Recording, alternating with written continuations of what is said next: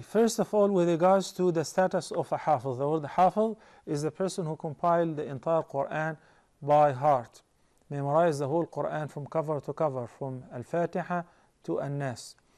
And of course, there are many hadith discussing the virtues of the hafiz or the huffaz. Some of them are sound and some of them uh, are not sound, are weak actually.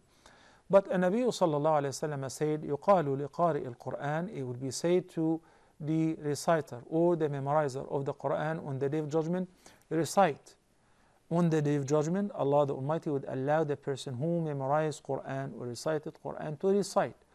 And he will continue to recite and it will be said to him, فَإِنَّ مَنْزِلَتَكَ عِنْدَ آخِرِ آيَةٍ كُنْتَ تَقْرَأُهَا Because your status, you asked about the status. And we mentioned before, Al-Jannah is different ranks and levels. So the status of the Hafiz will be according to the number of ayat that he memorized and he used to frequently recite. Some of the scholars said it is broader than just to be limited to the Hafiz, the person who frequently recited the, the Quran as well. And most of the scholars said it is concerning the person who memorized the Quran. So if he have memorized the entire Quran, he will have the highest status in paradise. If he has memorized half, three quarters, or a quarter, or certain chapters, it will be according to the number of ayat that he memorized. All of that is beautiful, provided the person acted upon what he memorized, benefited from what he memorized.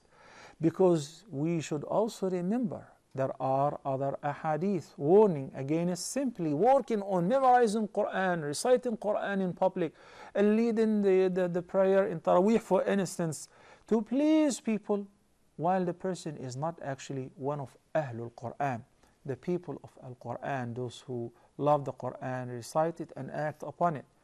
So it's just a job, for instance.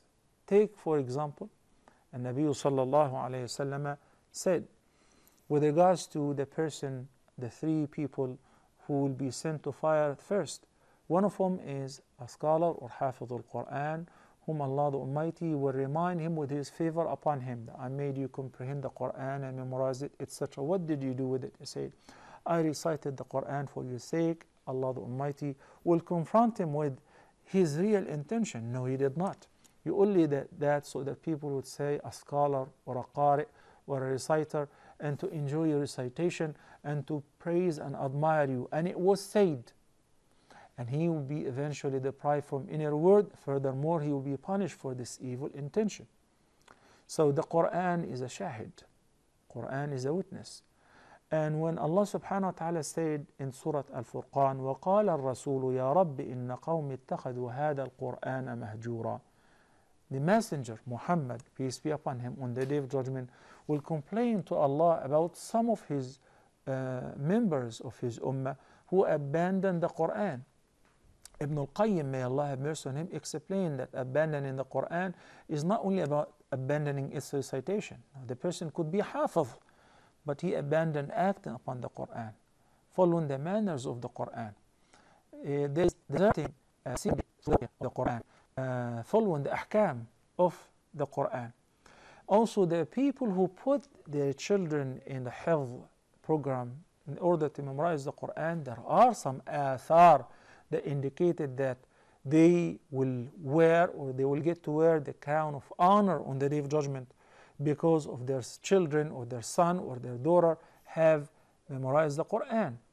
And with regards to the authenticity of these athar, I can tell you for sure that there is a sound hadith which is collected by Al Imam Muslim, in which the Nabi wasallam said that one of the three ways which will benefit the dead person after his or her death is a righteous child who will pray for him. So I hope inshallah we work hard on inspiring our children to recite the Quran, memorize Quran, understand it, and most importantly, act upon it.